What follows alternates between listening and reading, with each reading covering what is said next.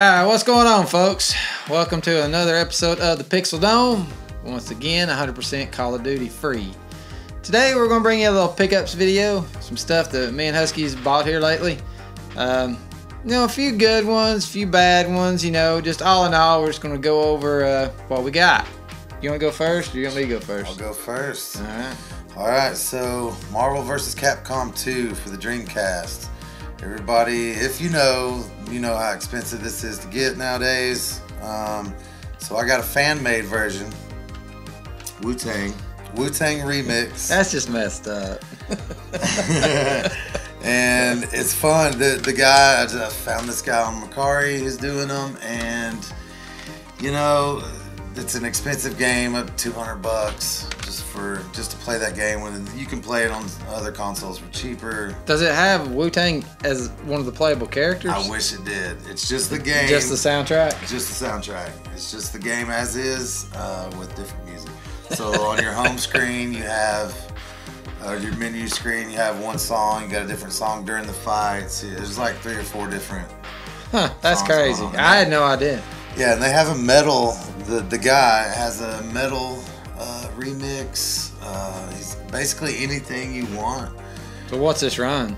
Uh, that was about twenty five dollars. Shit, you can't beat that. Yeah, 23 24 to twenty five. Well, staying on the oddball kind of track, uh, mine ain't so much a game as it is an accessory. It's an old Dreamcast VMU, still in box as you see, and has never been opened.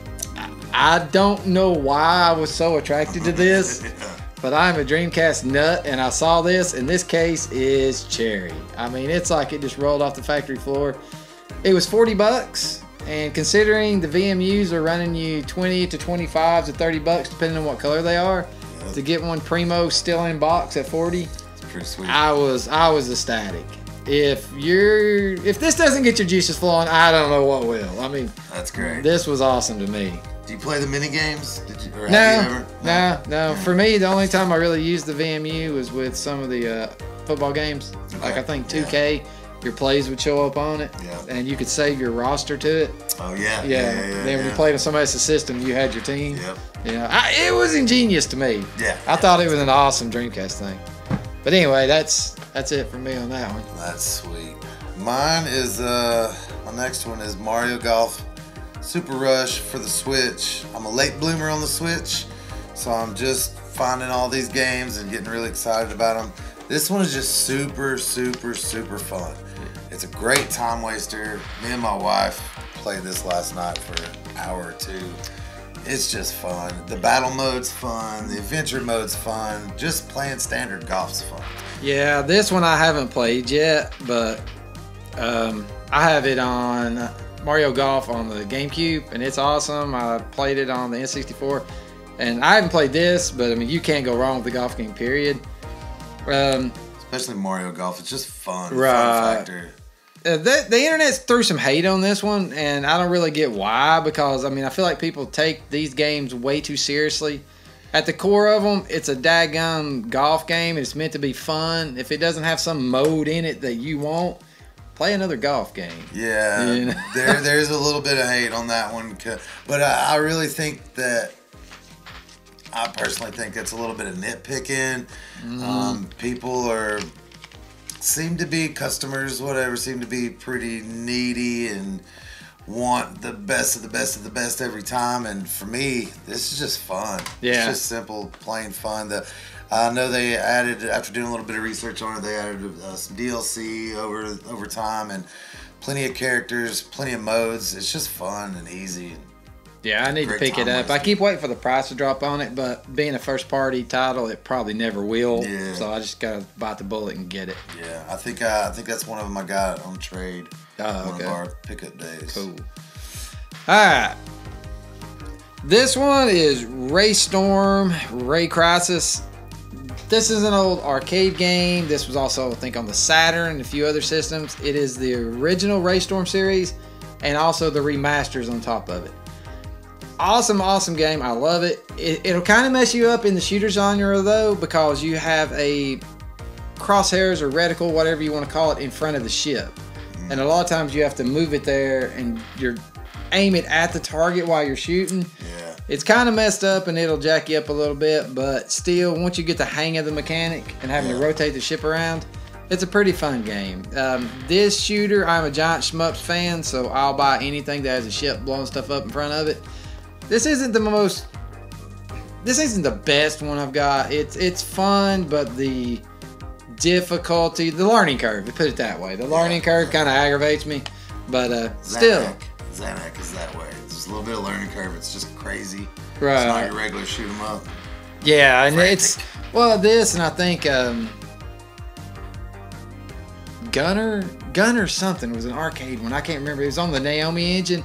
It was like that as well. Yeah. Real weird. You had to turn the helicopter around and Oh, shoot in the right position. It was funky, but it's still a cool game. It's uh, it's pretty cheap too, so it's worth a try. Good old standard for my next one. Resident Evil 2, the remake. Masterpiece. It is phenomenal. And again, I'm a late bloomer on some of this stuff. I went when the Series X came out. Um, I'd only had a 360. I didn't have a PS4. I didn't do the Xbox One. Shameful. I went straight from PS3 and Xbox 60 to the Series X and PS5. Shameful.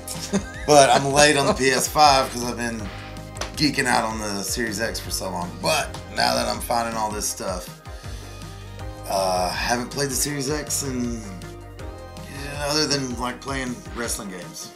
I haven't really That's about that all it's fit for.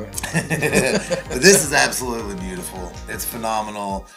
Who are you playing as? You playing as Jill? No, no, that's him. Um, what's his name? Leon? Yeah. So yeah, and and um, I think uh, let's see, how far did I get? This one I haven't played through too much. Some, a lot of these on today's pickups I just got, so I haven't. And I picked up like 40 within a couple of weeks, 40 games. So I haven't gotten too far on any of these games. But man, does it look exceptional.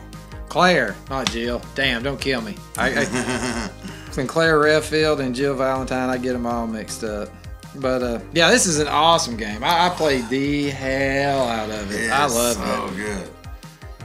Everything and the re the remaster, everything it just looks so good. hmm And, and the first one's great. The first, uh, the first Resident Evil 2 is great, but man, to to have this remaster is really, really killer. Yeah, the third one's great too. The Nemesis remaster. It Yeah. got a little bit of hate too, but I loved it. That one, that one's perfection. Yeah, I haven't. Uh, I don't think I ever played three. It's good. It's on the cheap too. Yeah. It's older now. Yeah, I absolutely love this game. I, like I said, I haven't got too deep into it because a lot of these I bought so. I had so many pickups. Me and Matt went on. I think just on the two trips that we took. Uh, I did a lot of Xbox 360 trading, and I got a ton of pickups. So I've got to get through them all. Yeah, this thing I ain't even played half the ones we got that day. I've got months worth. So. Well, staying on the horror trip, I recently found Silent Hill on the PS1. This game is Yeah.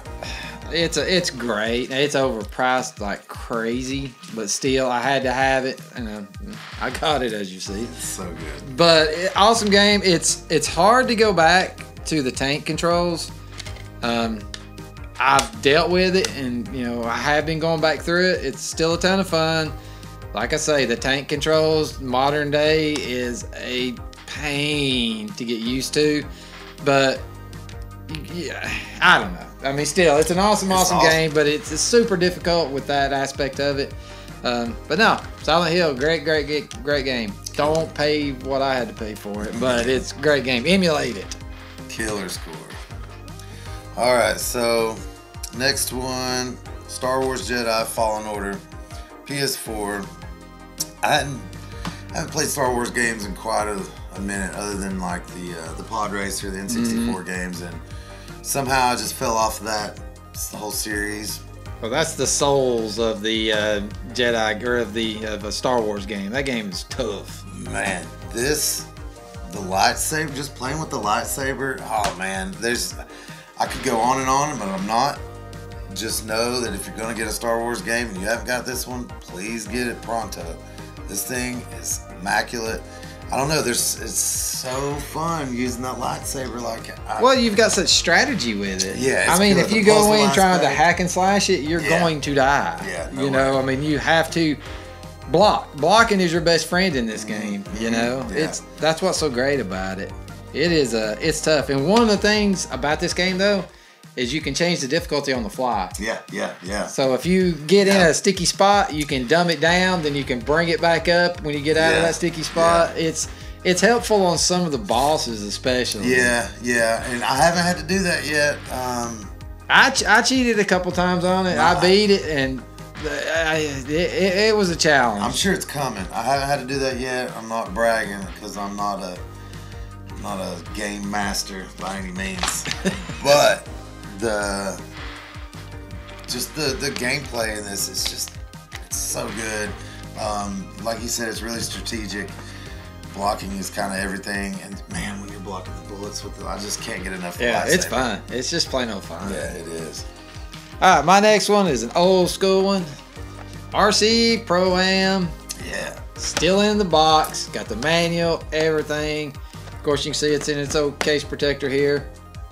I had to have this. yeah. I'm yeah. not a big SNES collector, but this thing was primo and looked gorgeous. RC Pro Am is my all-time favorite racing game on the SNES.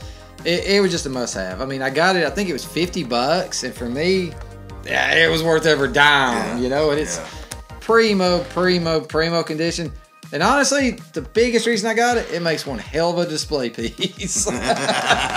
I mean, it looks good. good. I've not even played it, you know. Oh, and- wow. Yeah, Yeah. yeah, but Yeah. it's it looks damn good sitting on a shelf. Oh, that's killer. Yeah, but this is one of the pride of my fleets here. Not super hard to find. Doesn't cost a lot of money. It's just worth every dime. Yeah, that'll go. That'll be in my collection soon, someday. All right, my last one here of the five. I wanted to like this game a whole whole lot. Super Street the game, PS4. Never heard of it. This game could be could have been really awesome. Some people love it. Some people give it crap. Um, I just think it could have been a lot better. I was really excited when I got it. I'm a big arcade racing fan. Um, the controls, like the way that you're controlling the car, it's a little loose. It doesn't feel right. And I don't mean loose like the car doesn't turn tight enough or sharp enough or when you know like it's just it just feels wrong. It feels a little bit off. Well, that can make or break a driving game. I mean, Really, because big it- time. Yeah, some can Uh, be too tight, some are too loose. There's plenty of cars on there and you can customize. You start off stock. It's cool story. Everything about it is cool and I wanted to love it. But at this point, it's probably going in the trade pile. Uh, it, it really it just could have been so good and i was really excited to get it. But i thought i'd bring it today for the pickups because it's worth trying out. I know uh, i'm 46 there's some younger kids that absolutely love it. Um, but to me it's it didn't quite hit the mark. It's almost there but uh, if you want some mindless whatever street racing game uh pick it up. It's fine but i'll i need a little more yeah, I believe Maybe a I'll let you more. have that one. Yeah. I'll right. probably go in the trade pile Right. next go around All right, so my last one's a, a game, but it's the whole shooting match. Time So Crisis 2 with the GunCon 2 gun in it. I adore this thing. All right, it comes with in the old box here.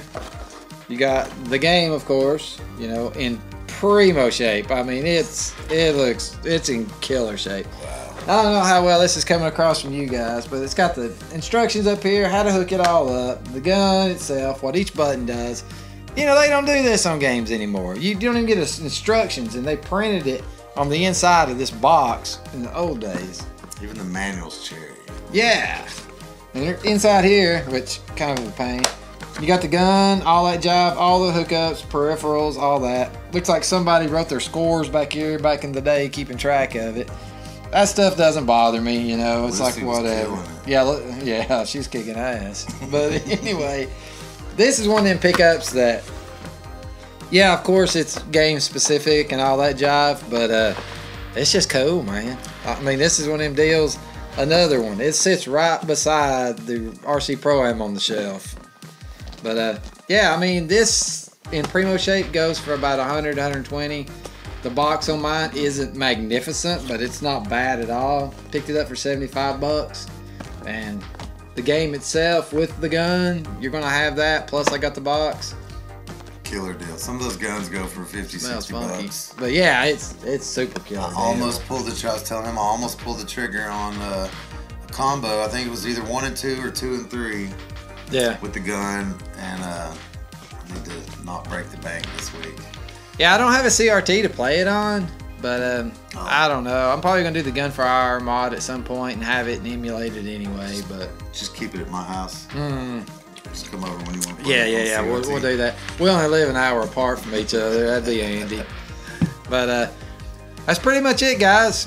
With a little video here, some stuff we picked up, some stuff y'all might dig, some stuff uh, you could care less about. But either way, a few decent pickups. Yeah, man. But if y'all want to see more pickup vids or any different format style or whatever, let me know. Anyway, you good? Good. We'll see y'all next time. All right, later, folks.